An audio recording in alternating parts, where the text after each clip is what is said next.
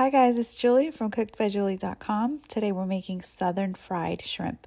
This is the most popular recipe on my blog, which I never made a video for, and you guys kept requesting it, so here we go. So most of the time I don't have buttermilk on hand. I found that whole milk works just as good.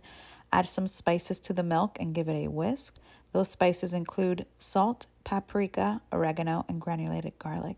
And yes, I give you the exact salt amount that I use, but feel free to season to taste. And of course, you can find the complete recipe along with more detail over at cookedbyjulie.com. Place the peeled and deveined shrimp in the seasoned milk and let it sit for about 10 minutes. You're going to need some all purpose flour and more spices.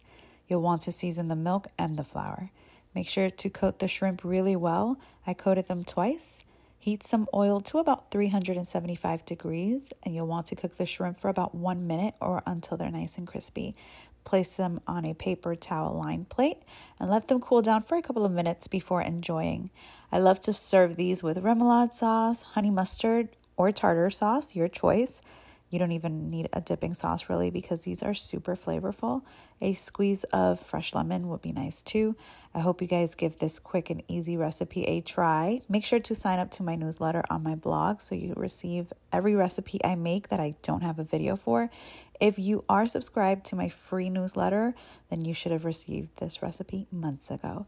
I hope you guys enjoyed this video and I want to thank you all so much for watching.